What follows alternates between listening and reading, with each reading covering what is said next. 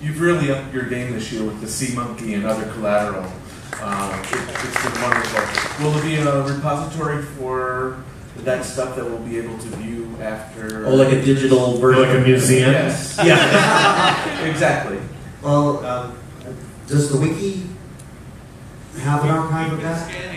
Scanning it. No? Oh, Yeah, we, we have, we, we've been posting in the past, like, usually in the, in the I'm booked now what section, we will link to the previous year's Sea Monkey, but I'm sure we plan to do that for 2018 as well. And do you mean the onboard sea monkeys? The, the onboard Sea Monkey Oh, yes. pamphlets. Yeah. We used to, s- Kate always scanned it every year, and the scanned image isn't as easily Yeah. read as a, a PDF that has the text Last, in it. last year I posted all the PDFs.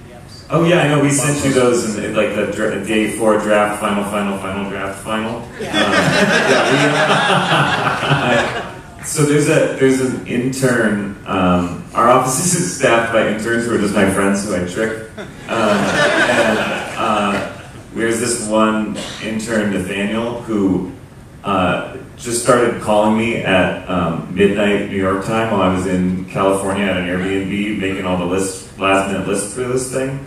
And he uh, asked me a bunch of questions, and he came on board with the Sea Monkey for day one delivery done. And he's basically solved the problem, and I don't even know how he did it.